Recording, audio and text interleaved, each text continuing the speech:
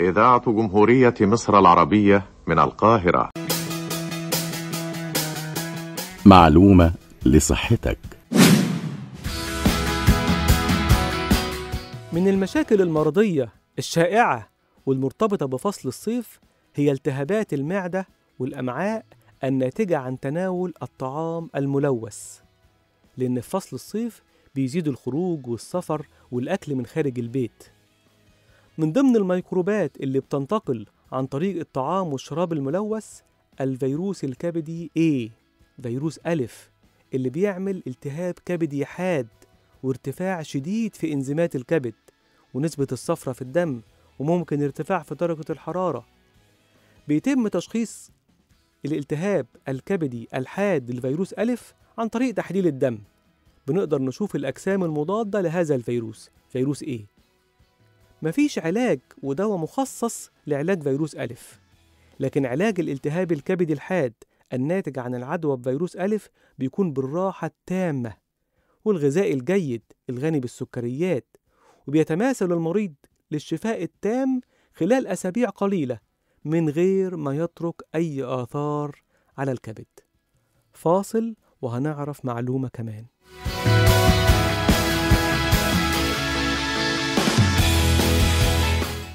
ضغوط الحياة وساعات العمل المتواصلة والعمل فترة بالنهار وفترة تانية بالليل ورتم الحياة السريع ممكن يخلي الواحد مننا في توتر دائم وضغط عصبي مستمر.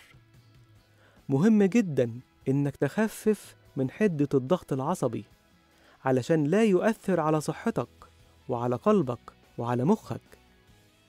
إزاي تقدر تخفف من هذه الحدة في التوتر العصبي؟ أولا أول حاجة استعن بالله في كل أمور حياتك. تاني نصيحة عود نفسك على ممارسة الرياضة. خليها جزء من روتين حياتك الأسبوعي لأنها بتخفف جدا من حدة التوتر.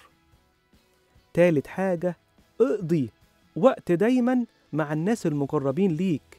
الناس اللي بيحبوك أصدقائك عيلتك قرايبك. صلة الرحم حتى ولو بالتليفون بتديك دعم نفسي هائل يخلصك من أي توتر. تجنب الإفراط في المنبهات زي القهوة والشاي. نام كويس ونام بدري ده هيساعدك إنك ما تشعرش بالإجهاد وبالتالي هيقلل من التوتر. شارك في أعمال الخير تصدق. تصدق ولو بشق تمرة. لو عندك هواية حاول تمارسها بين الوقت والتاني. كل دي أسلحتك ضد التوتر الدائم. دمتم في صحة وسلام. كل الشكر للدكتور محمد عبد الوهاب الأبجيجي استشاري الجهاز الهضمي والكبد والمناظير وزراعة الكبد بالمعهد القومي للكبد. الرقم الضريبي الموحد 542 511 819 وبكرة وفي نفس الميعاد معلومة جديدة لصحتك. إلى اللقاء.